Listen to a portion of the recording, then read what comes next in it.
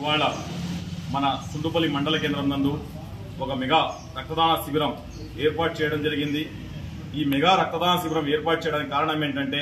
రక్త కొరత అనేది తీవ్రంగా వేధిస్తున్న ఒక సమస్యగా మారింది. ముఖ్యంగా వేసవి కాలంలో అయితే ఆ సమస్య మరింత తీవ్రతరంగా మరింత జటిలంగా మారుతుంది. దానికోసం యువతలో ఒక ఉత్సాహం నింపి రక్తదానం వల్ల లాభాలు వాళ్ళకి తెలియజేసి ఈ రక్త కొరత లేని సమాజాన్ని నిర్మించాలనే ముఖ్య ఉద్దేశంతో మెయిన్ ముఖ్యంగా వేసవిలో కూడా ఇలాంటి బృహత్తర కార్యక్రమాలని మేము చేయడానికి కారణము ఈ వేసవిలో రక్త కొరత ఈ కొరతని నివారించడానికి ప్రతి ఒక్క యువత ముందుకు వచ్చి రక్తదానం చేస్తే గాని ఈ రక్త కొరత అనేది మేము నివారించలేము. అది మరీ ముఖ్యంగా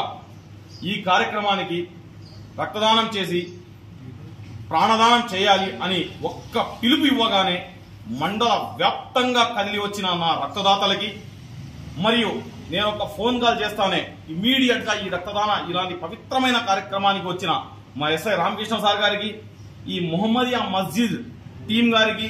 మరియు నా మిత్ర బృందానికి మరియు మండల నాయకులు రహీం బాషా గారు రెహమాన్ ఖాన్ గారు రఫీక్ గారు